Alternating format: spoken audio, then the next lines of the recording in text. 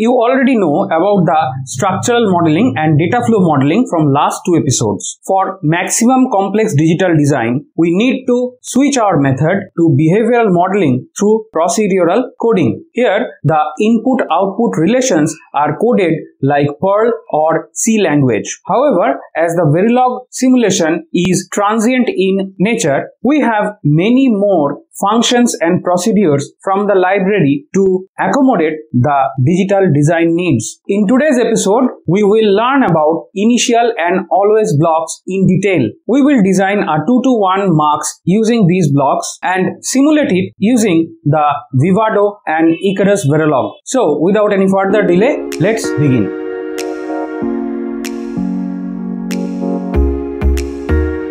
Hey guys, welcome back. In today's episode, we are going to discuss these below points. Verilog modeling methods.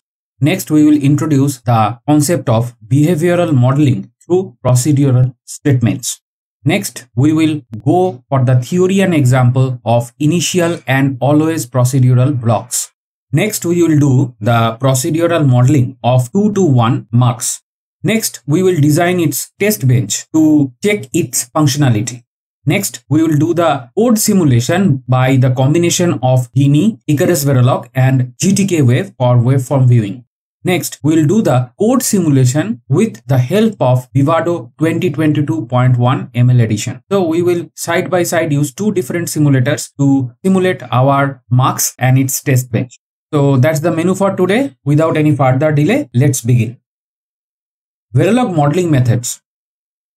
The Verilog modeling types are subdivided into two different parts. The first one is structural modeling, which we have already covered and you know that it is done through the gate primitives. The next one is the behavioral modeling. One subpart of it is the continuous assignment, which we have done in the last episode. And in today's episode, we are going to talk about the procedural assignments. So we are done with this particular slide. Let's move on to the next slide. Introduction. The behavioral modeling is majorly done by procedural coding. Now here, if you look, it has two parts, procedural and coding. The coding here is nothing but the Verilog A coding and the procedural we will come in a short while. This kind of modeling has similarity in coding style with the Perl coding or C style coding. So in case you are either familiar with Perl or C, language. As a programming or a scripting language you might be aware with the procedural method of coding which is a very very stark difference with c++ which is a object oriented or python.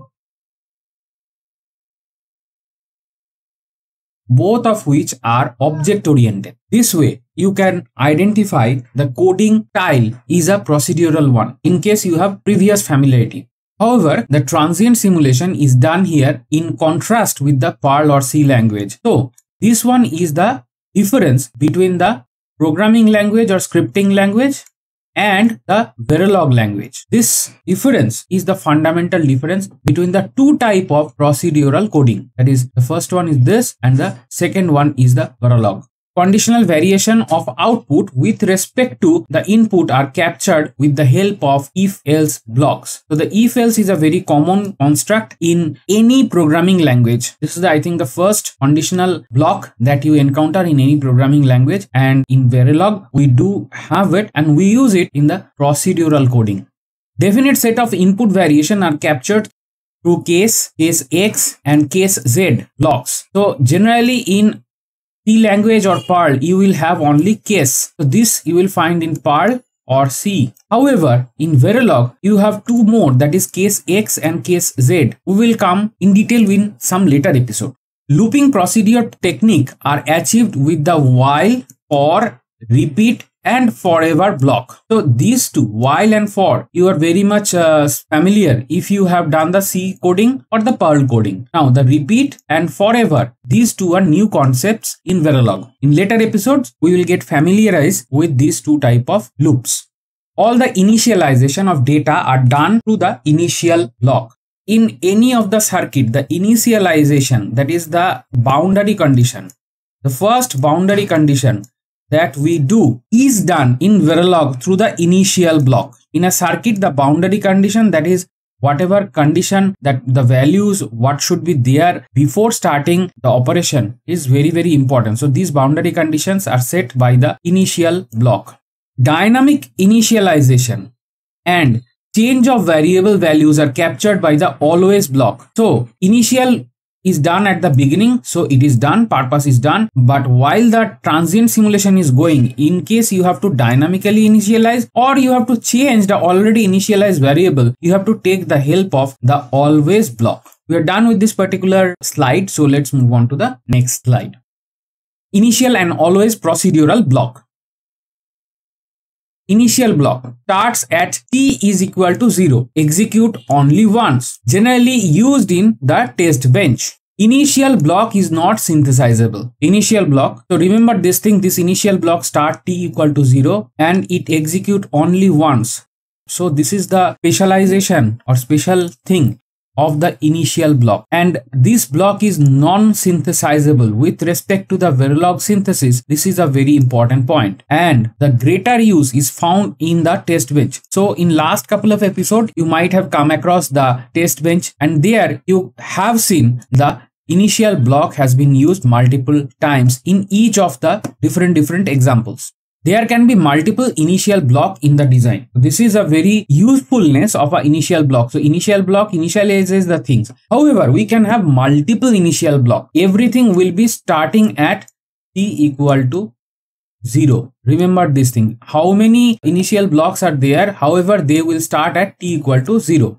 Always block starts at t equal to 0, executes in a continuous loop. So this is the beauty of always block always means it's a always on block. It runs always. That means it happens in a continuous mode. Block execution is triggered based on user specified condition or sensitivity. So the always block for execution it needs some condition or sensitivity. Generally there is a at the rate symbol and then we have a bracket here. And inside that we will have the condition or sensitivity in always here is an example. So here is the always. So you can see it's written in green and it's a reserve keyword and posedge of clock. So here the off is not written here. However, when we are reading the code as a human being, we can read it at always at the posedge of clock. So at means at is a time related event. So whenever we have a clock transition like this, so this is a posedge, right? So this posedge and this posedge at this posedge, the always block will be sensitized and whatever things are written here inside this block will be executed. Again, at the next posedge, this block will get executed. And uh, remember, if anything changes, negative edge that means here inside this code that will get implemented in the posedge that means this is the first this is the second and here something does change so that will get reflected in the second posedge hence the always block is a very useful thing for the hardware description. The procedural blocks are automatically activated at time equal to zero. So this is a very important thing. Everything starts at time t equal to zero because Verilog is a transient simulation and time always starts at zero all the procedural blocks and their internal statements are executed concurrently. So this means okay we have statement 1 statement 2 statement 3 so this will start at time equal to 0 this is start at time equal to 0 and this will also start at time equal to 0 so this is the concurrent operation. Remember this is a stark difference from the programming language where every statement is executed sequentially one after another. So in sequence this one will happen first then the next and then the next. However in verilog language in the procedural blocks the statements are executed concurrently. That means at time t equal to 0 this will start this will start and this will start. So everything will start at t equal to 0 or you have a different like posedge of clock and that time all the statements will execute. So at any of the sensitive points or the condition whether if it is coming in the always or if it is by the initial block then at time t equal to 0 it will be executing. Reg is the main data type that is manipulated within a procedural block. A procedural block has data manipulation and reg is a very important kind of data type here and why it holds the value until replaced with the new value by a new assign statement we have already come across the assign statement and it's a very short and sweet way of assigning value to a variable. And the range is the kind of data type that can hold the value until a new assignment comes into the variable. So we are done with the initial and always procedural blocks here for their introduction. Let's move on to the next slide. Initial block, we will see couple of examples here. Here, first we have the definition, initial block, then a single statement and then if we have a multiple statement, we will have the initial, then the begin and multiple statements will come and it will closed by the end statement. In case there is only a single statement, we don't need the begin and end as here. And in case you have multiple statements, then begin and end will be there to encapsulate them inside one initial block. Here, let us see some examples. We write some module name behavior. It's a rough name so just you don't think of any hardware. It's just a name for understanding. We have range 1 down to 0 for a and b. And we have initial begin here we have a equal to 2 tick b 1 0 so that means here you can see a is 2 bit y bus. And here the two bits of a are assigned by 2 2 means the we will have two values. B is binary and 1 and 0 are the binary values that will go inside the a. And after the delay time 20 b is assigned with 1 1 and here we close the initial block. Here we have the opening and here we have the closing Again, we have another initial block here and here after 10 time unit delay, we assign A with 1, 1 and after 20 time unit delay, we will assign B with 1, 0. Here we end our second initial block. So this is the opening and this is the closing similar to this and this. Next we have initial and we have a finish statement. So i think this will be a dollar finish. And here is a typo. So please excuse for that. Generally it will be dollar finish. And because this is a system command it will finish up the run of the simulator. There is a typo. Please excuse me for that. And here we end module. So here you can see this is the inline initial statement. We don't have begin or end here because this is a single line inside this initial block so here we have seen that hashtag time adds the time spacer and advances by the transient simulation by time unit. So here it advances by 20 time units, here it advances by 10, here by 20 and here by 50 so if you add them so this plus this plus this plus this will be the total time for the simulation. So here if we have the time in the x-axis if we add all the values it will go to the final t that is t dash and here all are marked. And here we have seen the example of multiple initial blocks. This this this. So we have come across three different initial blocks.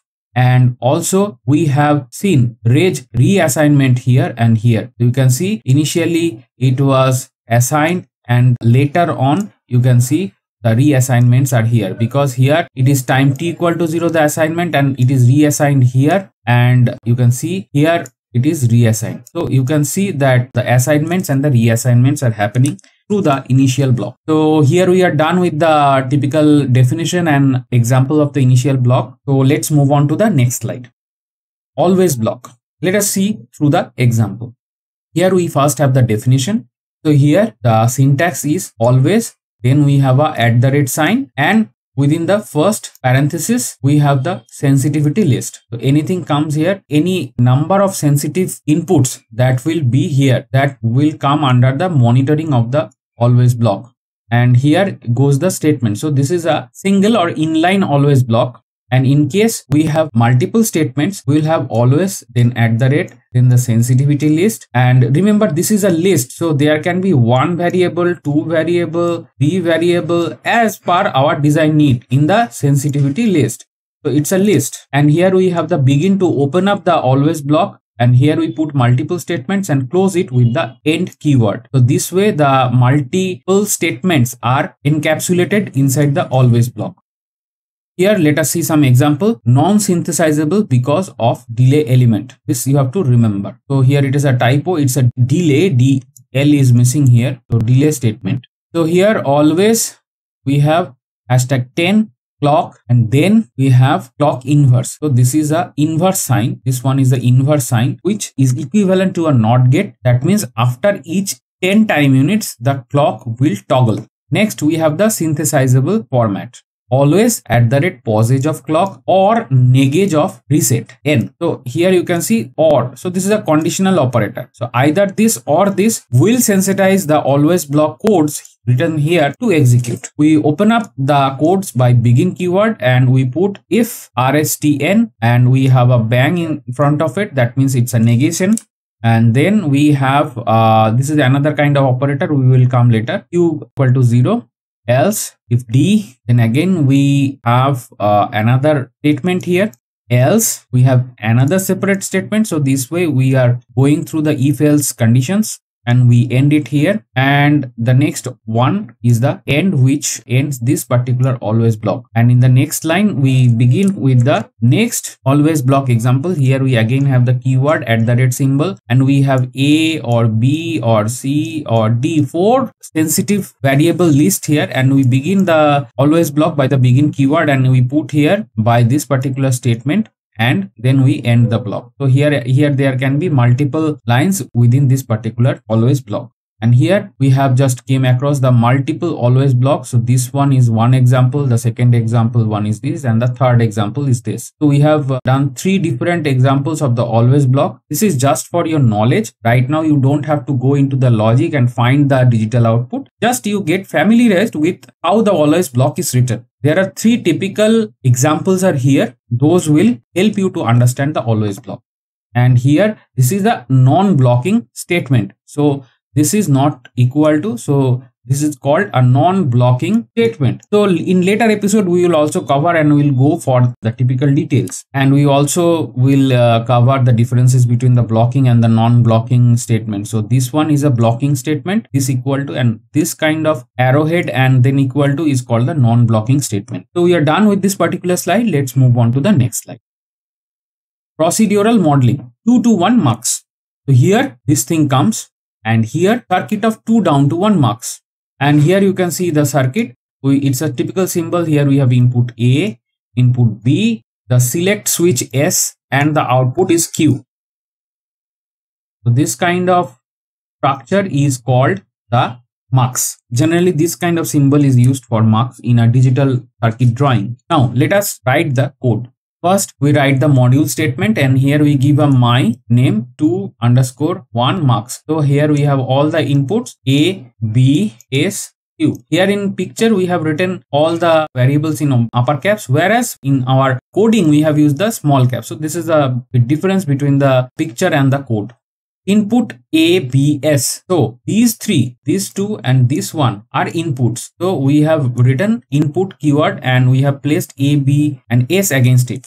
And we have the output q. So q is the output and we have defined the type range for this because this will help in procedural uh, assignments or reassignments as per the change in the a b or s then we have the always block. So always at the rate A or B or S. Now this always block monitors this one, this one and this one. For any change in either this this or this will trigger the entire always block to get executed. Here we write the begin keyword. Here we have written it in the next line. We can do that instead of writing it here if a is equal to 0, we have assigned q with a. So s for 0, a will go to q. So this one. Else if s equal to 1, q will be assigned with b. So this one will be output in the q. This is a mux logic you have already came across in your digital electronics. And this way we are coding it inside the Verilog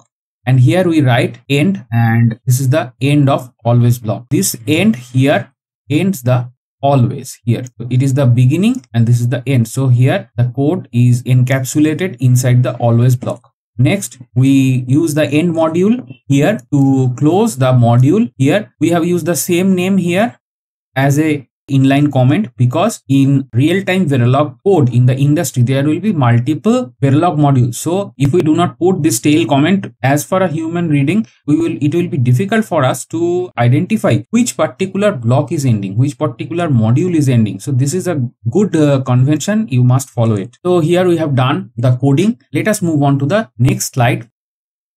Here we will do the test bench with the procedural modeling for the 2 to 1 mux. So here we start our code, the test bench. So we have a comment test bench and then we write our module name as test my 221 mux.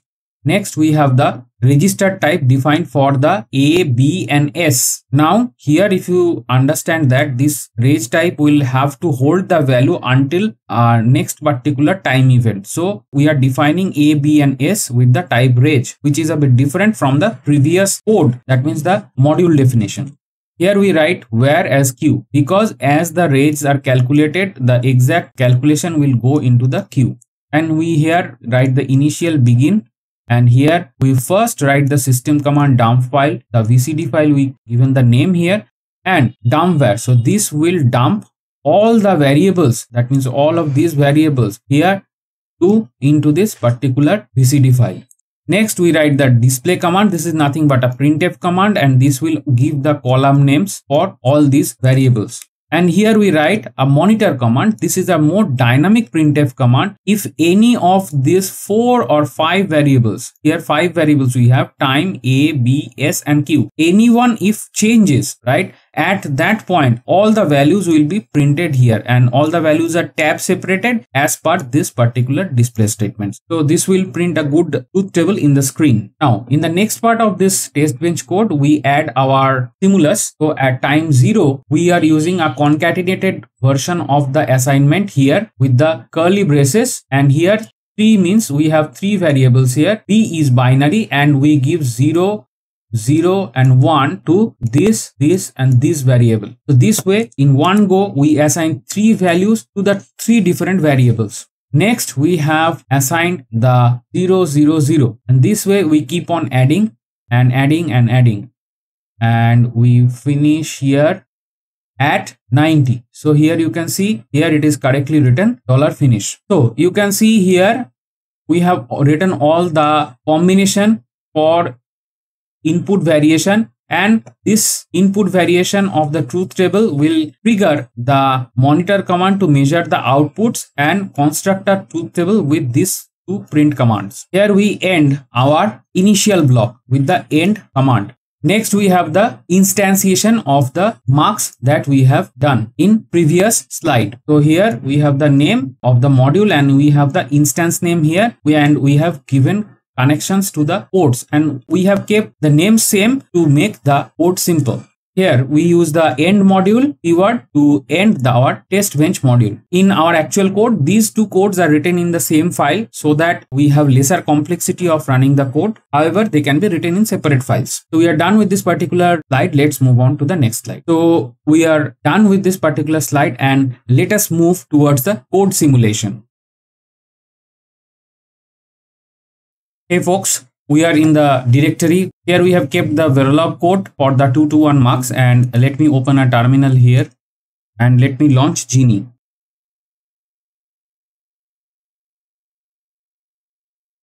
Here is our Linux terminal inside Geany and here you can see the code. So here is the module of 221 mux which we have discussed in slides and here is the test bench. You can see in the same file we have kept the module as well as the test bench. So we will use the Icarus Verilog to simulate this particular code. We let me do a ls here and let me type iverilog. This is the binary for the Icarus Verilog and we have our two to 221 mux.v here and let me give a output object dump name as mux. The simulation has generated the executable dot mux. And let me execute this object dump. Here you can see the mux input variation has been printed. And here the output is printed. So let me correlate them with the test bench. Here you can see the input variation is put here using our stimulus vectors and this has been captured here.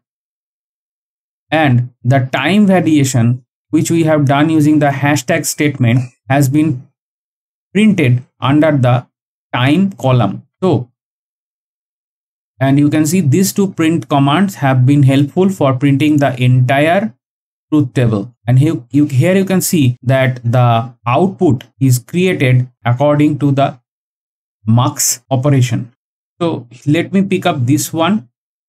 Here you can see a is 1 b is 0 and s is 0 so a will be picked and you can see the a has been picked here. Let me pick one opposite case. Here you can see here a is 0 and b is 1 and we have s equal to 1 so in this case b will be picked and this one is going to the output. So in this way with the investigation you can understand the input output relation that has been tested using this particular test bench and has been dumped here using the simulation with the Icarus Verilog. Now let me do a ls. Here you can see uh, a VCD file has been created. So let me launch the GTK wave.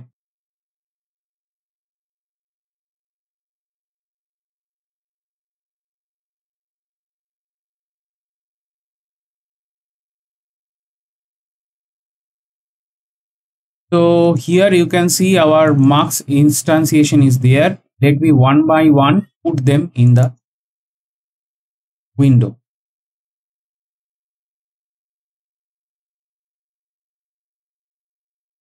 Let me use the fit screen. So you can see the entire timing simulation has been captured for all these inputs that is A, B, S and Q here. So if you take your marker here here here here. You will see a change here. Let me do it. And you can see in this way if you progress like this you will capture all the states from the waveform. So if i put the marker here there is this value. If it is here it has this value. If it is here you can see i am moving it and the values are changing here. In this way putting a marker like this will help you to investigate the values here. Also we have graphically shown you the mux uh, data checking from the vcd file and we are done here with the gtk wave. Let me close it. So here we are done with both the Icarus Verilog simulation using the Geany IDE here and then we have done the VCD file exploration that is the graphics waveform output we have checked to the GTK wave. So we are done here. Now let us move on for the Vivado simulation.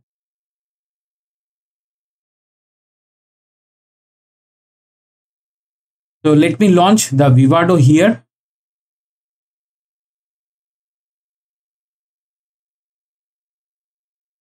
So here you can see that the Vivado has started to initialize for the launch. It is starting the GUI. Flash screen has hit the screen. And here you can see our Vivado interface is ready. So let me create a project. So here we click next. Here you can see the project name. So let me change it and here you can see the path is correctly displayed. Here we have kept our Verilog code Also, we have chosen create project subdirectory. Next here we select the RTL project and do not specify the sources at this time. These two options we have checked here. Next, let it keep here all will be as default. And let me go to the board and select one particular board and hit OK. And we hit next. Here you can see new project summary has been given here so the project name will be created and this board is uh, used. Although we are not using any board at this moment for this Verilog simulation. However, this interface for Vivado gives you the facility to use a Xilinx board. Let me finish here.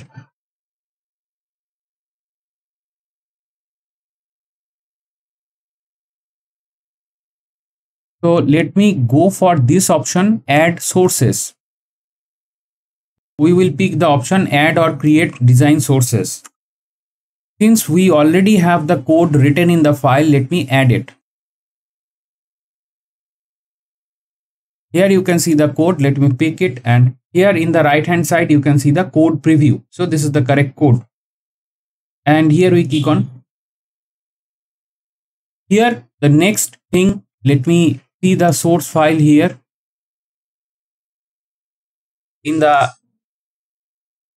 right hand side editor you can see that the code is written here In the next stage, I will use the run simulation. We will check this option. And we click on run behavioral simulation.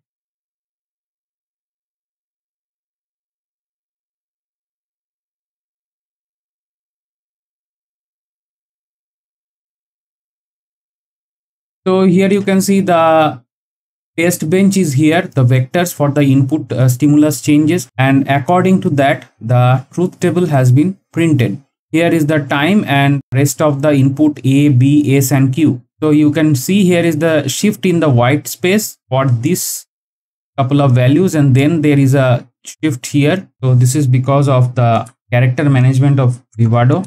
So you can see and you can check by yourself, right? let me pick this one so here you can see a is 1 b is 0 and s is select. So select if it is 0 it will pick a and it has picked 1 so it has done the picking up correctly.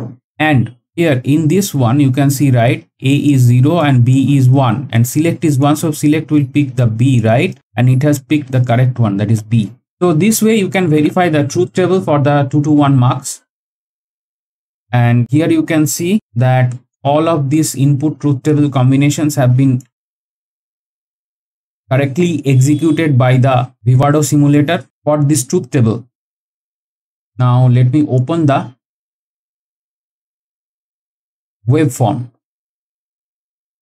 and let me hit the fit screen. So here you can see the input A, B, S and Q has been given and if you put your marker here at different points you will get the change in the value here if you go keep on doing this for all the points where you can see visually you can actually get the truth table of this circuit. So let me show you here. You can see it's uh, 0010 and here if we progress our monitoring point and values are actually changing here. This way you can check the values from the graph that is the graphical form and here using this kind of marker you can get the exact binary values of all these inputs at any particular time. So from that you can also create the truth table and you can verify the design's functionality. So folks here we are done with the